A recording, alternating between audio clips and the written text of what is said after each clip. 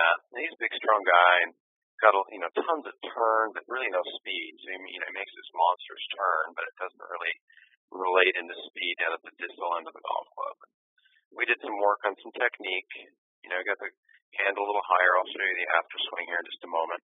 Um, here's the after swing. Let's find it. So he's kind of looking at technique.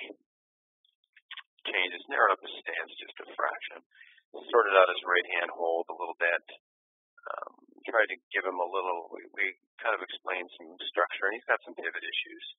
Gets a little ahead of it naturally, and so he's hitting this one, and that was his last swing of his day. He's really, really pleased with because this swing was 81 or so miles an hour, and this is after he'd warmed up with a nine iron.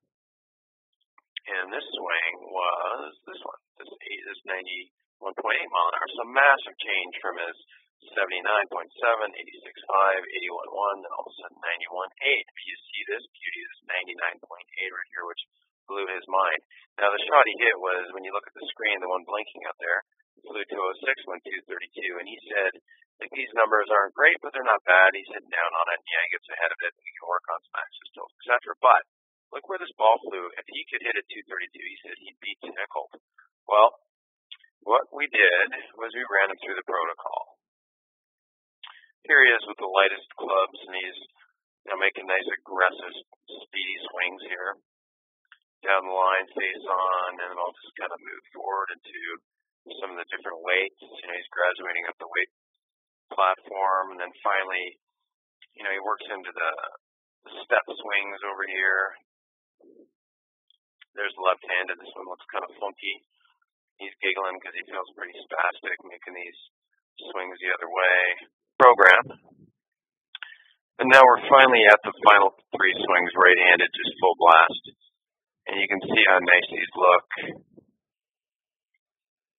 Very clean, and he's kind of wondering what's going on making his second to three final swings, nice and aggressive, ramping things up.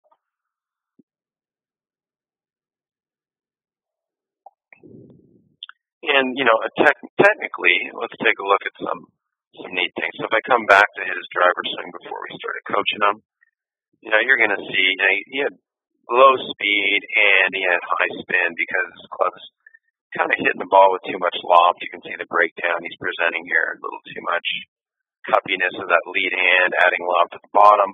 Now, as he's working with super speed golf, you know, he's got this condition where the club is lining up differently at the bottom, overtaking nicely. You can see the difference there, pulling him up to a finish, and that's what this led to.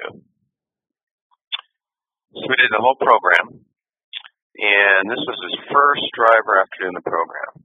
Still a little overturned. He's got to work on some behaviors with his hands and everything, but the club is coming down you can see it's not going to have as much lofted impact. He strikes the ball and he, he missed hit it.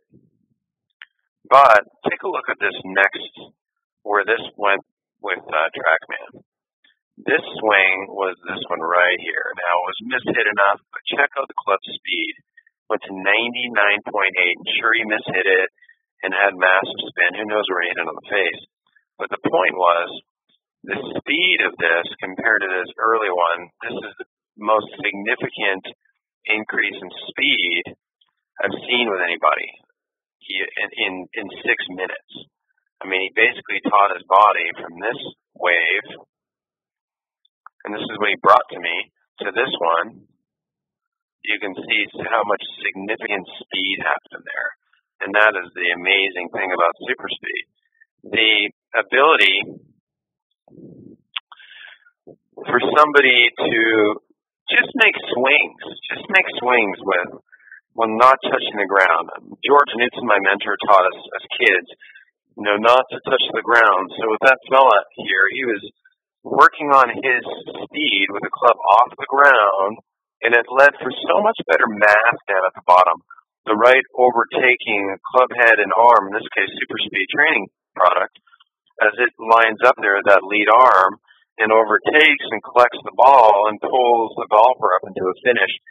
I mean, that was the most speed I'd you know, from, he had a, uh, an 81, a 70, an 86, a 79. That was his driver speed after warming up. Then after the protocol, it bumped up to 99. It blew him away. and yeah, he mishit the shot, but then his final shot of the lesson, you know, a cruising 91.8 miles an hour, whatever it was, he hit a 230 yard ball. You know, that's pretty amazing change. You know, with a with a little bit of coaching and some speed awakening. You know, through the help of Super Speed Golf. So a little testimonial video put together.